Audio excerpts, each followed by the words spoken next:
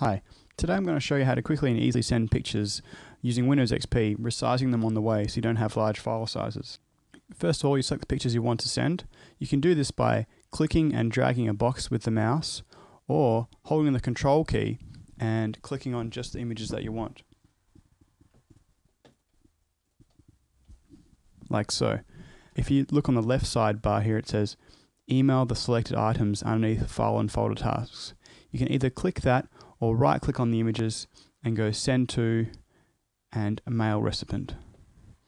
You'll then be given the option to make all the pictures smaller or keep the original sizes. Because we're sending it via email, we want to make sure we make all those pictures smaller. Then hit OK. After the computer has finished shrinking the images, it'll come up in your default email program as an attachment. In this case, I'm using Outlook Express.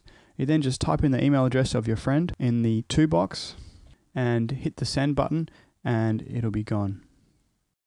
That's it. So there's a tutorial on how to email pictures to your friends and resize them along the way using Windows XP. For more tutorials like this one, please visit www.easycomputercoach.com. Thanks, bye.